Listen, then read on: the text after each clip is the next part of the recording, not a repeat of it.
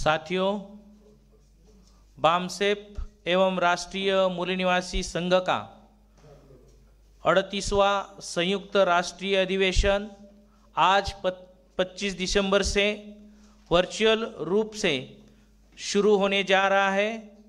इस अधिवेशन में आए हुए सभी डेलीगेट साथियों का एवं इस अधिवेशन में वर्चुअल रूप में सम्मिलित होने वाले सभी साथियों का मैं हार्दिक स्वागत करता हूँ।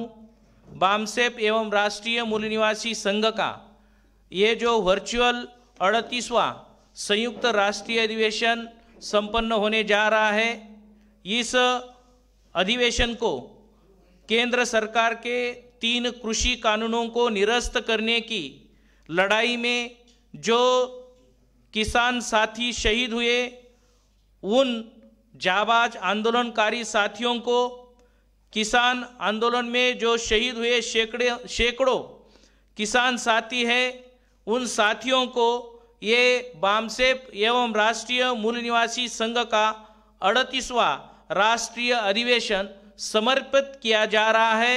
उन साथियों को अभिवादन के रूप में, उन साथियों को नमन करने के रूप में ये जो अधिवेशन है, ये तीन दिन का अधिवेशन उन शहीद किसानों को समर्पित किया जा रहा है। इस अधिवेशन का उद्घाटन सत्र जो है, वो हम अभी शुरू करने जा रहे हैं। उस, इस अधिवेशन के उद्घाटन सत्र में हमारे साथ हैं उद्घाटक मान्यवर इंजीनियर श्याम सिंह कंबोज साहब, ट्रस्टी एवं treasurer the Australian Sikh Association Australia से। इसके साथ साथ इस अधिवेशन में अतिथि के रूप में हमारे साथ हैं मान्यवर इंजीनियर मान्यवर जस्टिस वीरेंद्र सिंह यादव साहब, पूर्व न्यायाधीश, उच्च न्यायालय इलाहाबाद से। इसके साथ साथ इस अधिवेशन में उपस्थित हैं मान्यवर पूर्णिमा काटकर मैडम, जो कि वरिष्ठ कार्यकर्ता बाम से नई दिल्ली से है। इस अधिवेशन में हमारे साथ हैं मान्यवर विलास खराज साहब, राष्ट्रीय महासचिव भारत मुक्ति मोर्चा एवं इस अधिवेशन में हमारे साथ हैं मान्यवर निशा मिश्रा मैडम, राष्ट्रीय महासचिव, बहुजन मुक्ति पार्टी। सभी मान्यवरों से और अतिथियों से ये मैं अनुरोध करता हूँ कि वो मंच पर आए और अपना स्थान ग्रहण करें। अभी इस अधिवेशन की उद्घाटन सत्र की शुरू में मैं इस अधिवेशन का प्रास्ताविक करने के लिए राष्ट्रीय अध्यक्ष बामसेप मान्यवर वामन मेश्राम साहब को आमंत्रित करता हूँ। वो डायस पर आए और इस अधिवेशन का प्रास्ताविक करें मान्यवर वामन मेश्राम साहब।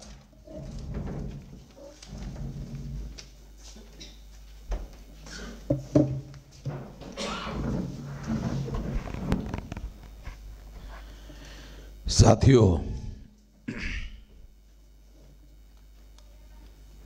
बामसेव एवं राष्ट्रीय मूल निवासी संघ का संयुक्त 38वां राष्ट्रीय अधिवेशन आज हो रहा है और इसकी शुरुआत हो रही है। उद्घाटन सत्र चल रहा है। इसके पहले की उद्घाटन, उद्घाटक के द्वारा उद्घाटनीय भाषण के माध्यम से शुरू हो, मैं प्रास्ताविक में कुछ बातें आप लोगों के सामने रखना चाहता हूँ। साथियों थर्टी एटवा राष्ट्रीय स्तर का संयुक्त राष्ट्रीय अधिवेशन हो रहा है। और हमारे राष्ट्रीय अधिवेशन लगातार हो रहे हैं विदाउट एनी इंटरप्शन किसी प्रकार के अवरोध से संगठन के द्वारा ये हर साल रेगुलर हो रहे हैं और किए जा रहे हैं। ये वैसे सामान्य घटना नहीं है। और हर साल हो, होने वाले अधिवेशनों के माध्यम से हमने हमने अपनी शक्ति को राष्ट्रीय स्तर पर लगातार बढ़ाने का काम किया है। आज ये बढ़ता हुआ जो कारवा है ये कहाँ तक पहुँचा है? ये भी जानने और समझने की बहुत ज़्यादा ज़रूरत है। जब उत्तर प्रदेश में काशीराम जी ने मुलायम सिंह यादव को मुख्यमंत्री बनवाया था, उस समय बामसेप तेरह स्टेट में और 140 जिलों में उसका ढांचा उपस्थित था। मोबाइल को आप साइलेंट मोड पर रखो। इतना भर ढांचा था।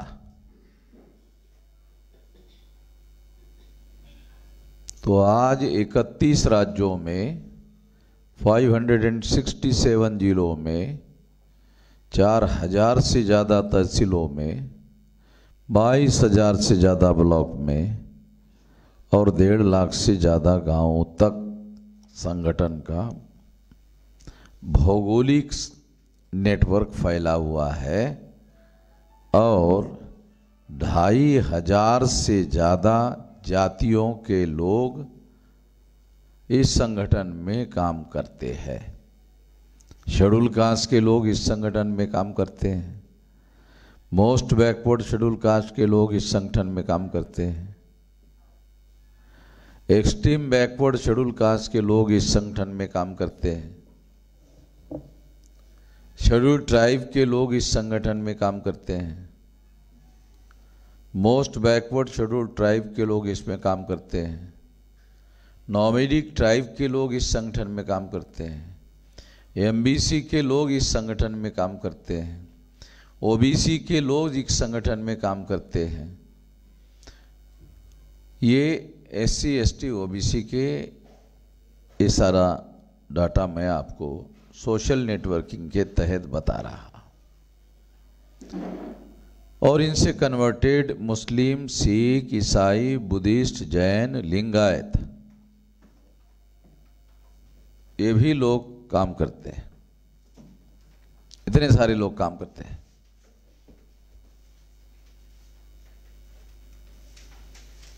तो ये कोई सामान्य शक्ति में रूपांतरण नहीं हुआ है। ये बहुत बड़ी शक्ति में रूपांतरित हो गया है। और ये लगातार जो हम लोग प्रयास कर रहे हैं, उस प्रयास का ही नतीजा है। कि इतनी बड़ी संगठित शक्ति उभर कर आई है। बनाई गई है। योजना बनाकर हम लोगों ने इसको किया है। तो उस प्रक्रिया में संगठन का बहुत भारी रोल रहा है अधिवेशनों का। और ये अड़तीसवां अधिवेशन है। और ये अधिवेशन हम लोगों को पिछले साल भी वर्चुअल करना पड़ा। इस साल भी पिछले साल तो बीमारी की वजह से करना पड़ा। इस साल हम बीमारी की वजह से नहीं कर रहे हैं, ऐसा नहीं। बीमारी की वजह नहीं है। इस साल हमने बीमारी की वजह से नहीं, बल्कि हमारे आंदोलन ने ये निर्णय लिया है कि हम संविधान के दायरे में रहकर काम करेंगे, उसके तहत जब उत्तर प्रदेश की 31 पार्टियाँ, schedule caste, schedule tribe, minority, OBC की पार्टियाँ, उनके नेता, राष्ट्रीय अध्यक्ष मिलने के लिए आए और कहने लगे कि आप हमारा चुनाव में नेतृत्व करिए। तो हमने उनको कहा कि भाई हम तो राजनीतिक दल के सदस्य नहीं हैं, मेंबर भी नहीं है, हमारी कोई पार्टी भी नहीं है। तो हमने राजनीतिक हस्तक्षेप करने के मकसद से इस विनती को स्वीकार किया। और सोचा कि संविधान के दायरे में रहकर कार्य करने की जो हमारी कार्य प्रणाली है, उसमें राजनीतिक हस्तक्षेप करना गैर संवैधानिक है क्या? ने हमारे लिए सवाल पूछा। तो छानबीन के बाद पता चला कि राजनीतिक हस्तक्षेप करना हर नागरिक का लोकतांत्रिक अधिकार है, संवैधानिक अधिकार है। तो हम कोई गैर संवैधानिक काम नहीं कर रहे हैं, संविधान के तहत ही काम कर रहे हैं।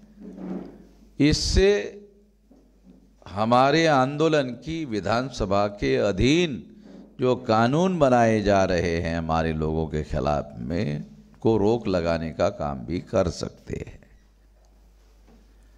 तो हम लोग हम लोगों ने उस हस्तक्षेप को स्वीकार किया और उसके तहत 9 अक्टूबर को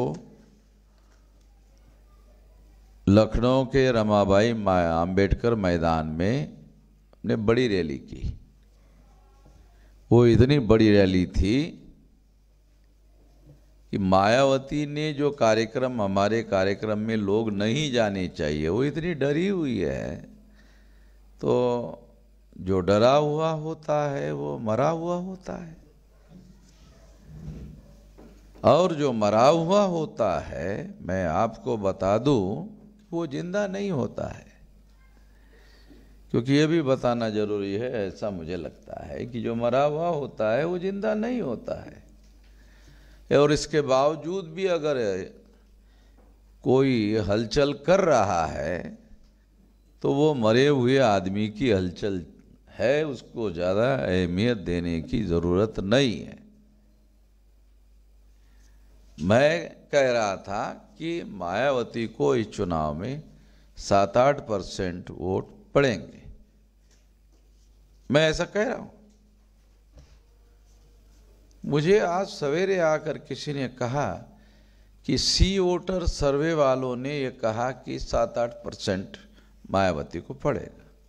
तो किसी ने पता नहीं, मेरी बात उनको बता दिया होगा देशमुख को।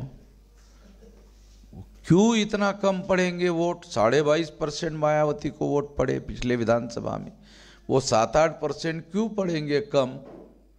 वो ये बात सी वोटर वाले बता नहीं रहे कि क्यों कम पड़ेंगे वो ये नहीं बता रहे कि ये मायावती का वोट शिफ्ट हो रहा है, ये नहीं बता रहे। मायावती का वोट बीजेपी की तरफ़ जा रहा है, ये भी नहीं बता रहे। मायावती का वोट कांग्रेस की तरफ़ जा रहा है, ये भी नहीं बता रहे। बल्कि कांग्रेस का छह परसेंट बता रहे। बीच के पीरियड में उन्होंने ही सी वोटर वालों ने नौ परसेंट बताया था। तो ये नौ का और छह बताया। तो इसका मतलब कांग्रेस की तरफ़ भी नहीं जा रहे हैं। तो ये वो नहीं बता रहे हैं कि समाजवादी की तरफ़ जा रहे हैं, मगर बात तो यही दिख रही कि वो समाजवादी की तरफ़ जा रहे हैं, ऐसा बता रहे हैं।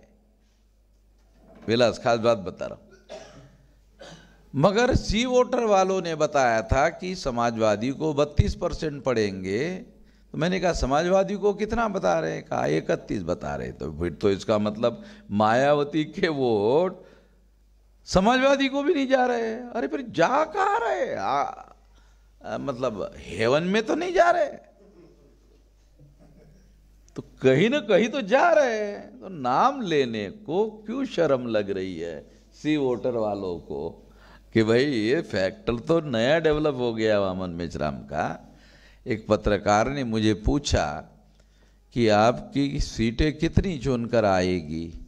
मैंने कहा, मैं तो कोई भविष्य वक्ता नहीं हूँ, मगर हमारा, हमारी दो ताकतें हैं। एक है हमारी, हमारा उपयोगिता मूल्य, जिसके तहत हमारे वोट ट्रांसफ़र करवा के सीटों को जितवाया जा सकता है। ये हमारा उपयोगिता मूल्य है, जिससे दूसरों की और हमारी सीटें जितवाई जा सकती है। दो, एक है, मैंने कहा, हमारा उपद्रव मूल्य। उपद्रव करने की हमारी क्षमता। ये हमारे आंदोलन ने हासिल की हुई शक्ति है। सामान्य बात नहीं है ये। कि हमने अगर मान लो तय गए, फला फला को हरवाना है। उदाहरण देता हूँ। दिल्ली में Hari Kishan Lal Bhagat H K L Bhagat Congress के प्रदेश अध्यक्ष हुआ करते थे। उसको अनक्राउन किंग बोलते थे दिल्ली में। Uncrowned king. यानी राजा है केवल क्राउन नहीं है। राजमुकुट नहीं है, बाकी राजा है। ऐसा बोलते थे। तो काशीराम जी ने कहा अब ये चुनाव में मैं वो राजा कैसे चुनाव जीतता है देखता तो उन्होंने फॉर्म भरा। कहा कि नहीं कहे एच के एल भगत, कार्यकर्ताओं ने पूछा, कहा लड़ोगे आप? जहाँ एल भगत लड़ेगा, वही मैं लड़ूँगा। मैं डिसाइड नहीं करूँगा कहा लड़ूँगा। जहाँ एल भगत लड़ेगा, वही मैं लड़ूँगा। ऐसे ही हुआ, फॉर्म भरा और एल भगत को मालूम हो गया कि काचराम जी लड़ रहे हैं, तब उनको पता चला चुनाव हम जीत नहीं सकते। इमीजिएट आदमी भेजे। काशीराम जी के पास। कि आपको क्या चाहिए, कितना चाहिए, बोल दीजिए केवल। बस ऐसा मुँह से निकाल दीजिए। तो कहा कि नहीं, हमको बोलना नहीं है, चाहिए नहीं है। हमारे पास चने खाने के लिए भी नहीं है, मगर ये नहीं चाहिए है। तो क्या चाहिए? एचकेल भगत को हरवाना, ये चाहिए। भगत जी को बोलिए, दे सकते हो क्या?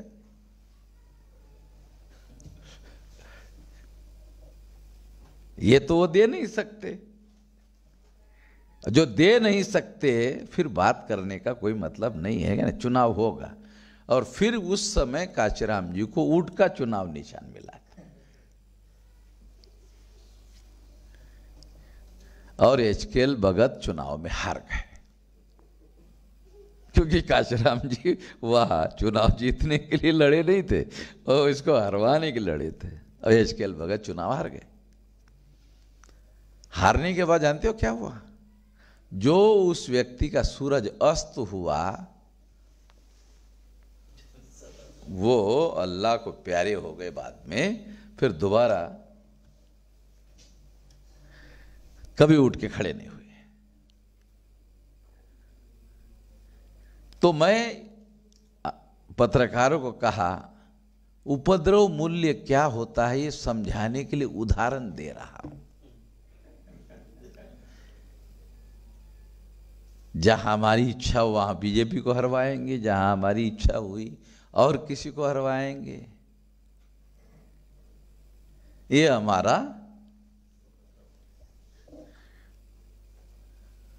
ये रणनीति मामला है, ये रणनीतिक है। ये दावपेज वाला मामला है। हमारे आंदोलन को आगे बढ़ाने के लिए जो करना ज़रूरी होगा, सब करेंगे। तो हमारा संगठन शक्ति का काम यहाँ तक आगे बढ़ चुका है। तो हम लोग अभी आने वाले समय में तीन बड़े काम जो है, वो हम करेंगे। एक तो जो हमारे संवैधानिक अधिकार हैं, जो जिन्होंने ख़त्म करने की कोशिश की, उनसे सड़कों पर निपटेंगे। बख्शेंगे नहीं, निपटेंगे। निपटेंगे, समझ रहे हैं ना आप लोग? हाँ ये हमारा देसी शब्द है। मैं देहाती आदमी हूँ, शुद्ध हिंदी नहीं बोल सकता। देहाती शब्द, निपटेंगे। दूसरा है राजनीतिक हस्तक्षेप। तो मैं किसी राजनीतिक पार्टी का सदस्य हूँ नहीं, मगर राजनीतिक हस्तक्षेप कर सकता हूँ। कोई मुझे ये नहीं कह सकता कि ये काम आप क्यों कर रहे हो, गैर संवैधानिक तो है नहीं। तीसरा है, सुप्रीम कोर्ट को आर्टिकल 32 के तहत जो बहुत सारे पावर दिए गए हैं, उस पावर के तहत हम लोग मामलों को सुप्रीम कोर्ट में लेके जाएँगे। जैसे ईवीएम मशीन का मामला मैं लेकर गया और सारे देश भर में पेपर ट्रेल मशीन लगवाया है, मैंने लगवाया तो इस तरह से ये तीन काम है जिसको हम लोग करेंगे। तो राष्ट्रीय अधिवेशन करना, अब तीसरे नंबर के प्रायोरिटी पर आ गया जो काम हमारा पहले नंबर के प्रायोरिटी का आ गया, रणनीति में देखो कितना परिवर्तन आ गया है। मैं हमारे लोगों को ये बताना चाहता हूँ कि हमारी रणनीति में अभी इतना बड़ा बदलाव आ गया कि बामसेब का राष्ट्रीय अधिवेशन जो पहले नंबर पर हुआ करता था, उसका नंबर अब तीसरे नंबर पर आ गया है।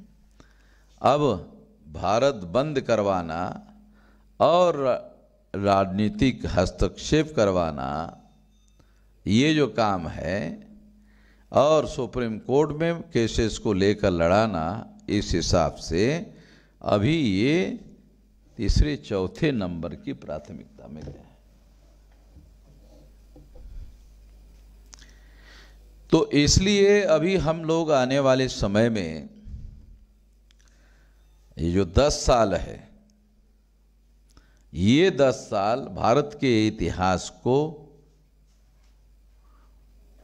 बहुत ज़ोर तर, जोरदार तरीके से हिलाने वाले होंगे। बहुत जोरदार तरीके से भारत को हिलाएँगे।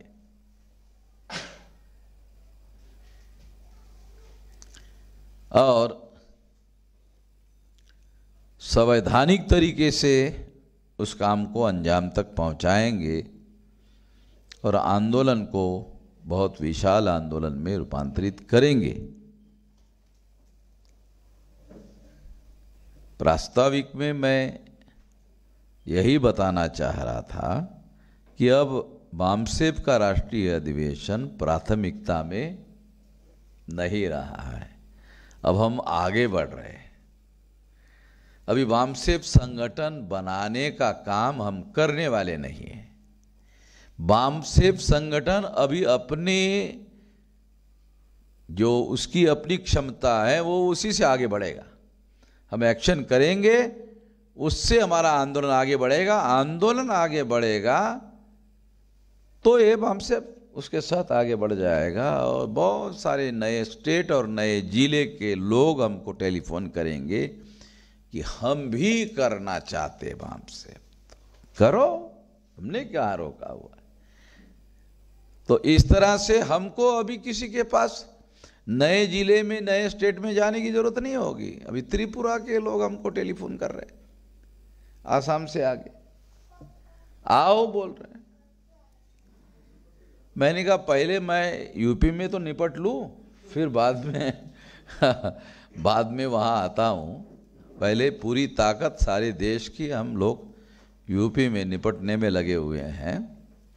तो और यूपी में अभी गठबंधन बन चुका है इकतीस पार्टी का, वो इकतालीस पार्टियों तक उसकी संख्या गई है। तो गठबंधन तो हो गया है। केवल महागठबंधन बनाना बाकी है। अगर समाजवादी पार्टी से गठबंधन हो जाता है, वार्ता समाजवादी से चल रही है, वार्ता कांग्रेस से चल रही है, वार्ता ओवैसी साफ़ से भी चल रही है ये सार्वजनिक बोल रहा हूँ, मोबाइल इस पर बोलो, सारी दुनिया वाले देख ले, सुन ले। हम लोग छुपा कर नहीं कर रहे काम। बहुत राजनीति लोग कहते नहीं छुपा कर करनी चाहिए। हाँ बराबर है, इसीलिए मैं ये खुल्लम खुल्ला कर रहा हूँ कि तीनों से वार्ता चल रही है। क्योंकि लोकतंत्र में संवाद करना संवैधानिक है। हम संवाद करने में और फैसले करने में अंतर कर रहे हैं। अभी हम केवल संवाद कर रहे हैं, फैसले नहीं कर रहे हैं। संवाद के बाद फैसले करेंगे तो संवाद में पता चलेगा कौन सा फैसला करना है, कौन सा नहीं करना है तो इस हिसाब से हम काम कर रहे हैं। तो इन सबसे बात हो रही है। और विशेष बात, सभी लोग चाहते हैं कि होना चाहिए। और एक बात आप लोगों को बता, सभी लोग चाहते हैं हाँ होना चाहिए। मैं समझ अरे अरे, वो तो राष्ट्रीय स्तर के बड़े। ये उनके साथ होने से तो बड़ा आसान हो जाएगा। हमने मैंने तो अखिलेश यादव को मुँह पर कहा कि अगर हमारा गठबंधन हो गया तो मुख्यमंत्री पद अखिलेश जी सील हो गया, सील हो जाएगा। हो गया, फाइनल हो गया। केवल रिज़ल्ट आने की वेटिंग है। अभी बहुत सारे छोटे छोटे दलों से समाजवादी ने गठबंधन किया। गारंटी अभी भी नहीं है क्योंकि 48 परसेंट वोट बीजेपी को सी वोटर वाला दिखा रहा है इकतीस परसेंट इसको दिखा रहा है। हाँ, समाजवादी को। तो अगर तीनों में से किसी के साथ भी अगर हमारा गठबंधन हो गया खास तौर पर समाजवादी और कांग्रेस के साथ तो फिर ये गठबंधन गठबंधन नहीं रहेगा, ये महागठबंधन हो जाएगा। और महागठबंधन कोई भी, मान लो समाजवादी के साथ महागठबंधन हो गया तो सरकार उसकी आएगी। कांग्रेस के साथ महागठबंधन हो गया तो फिर हमारी सरकार आएगी। तो हमारी कोशिश तो हमारी सरकार लाने की ही है प्राथमिकता। तो इस तरीके से बात को आगे बढ़ाया जाएगा। तो अभी प्राथमिकता अधिवेशनों की नहीं है, बदल गई है अभी प्राथमिकता। और आने वाले दस साल में इस देश की हम ही प्राथमिकता होंगे, ऐसा मेरा मानना है। धन्यवाद।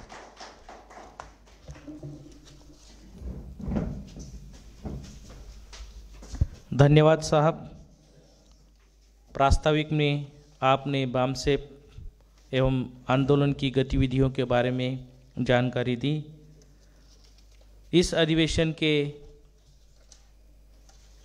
उद्घाटन करने के लिए मैं आमंत्रित करता हूँ इस अधिवेशन के उद्घाटक मान्यवर इंजीनियर श्याम सिंह कंबोज, ट्रस्टी एवं treasurer the Australian Sikh Association Australia इनसे अनुरोध है कि वो इस अधिवेशन में उद्घाटनीय भाषण के रूप में संबोधित करें।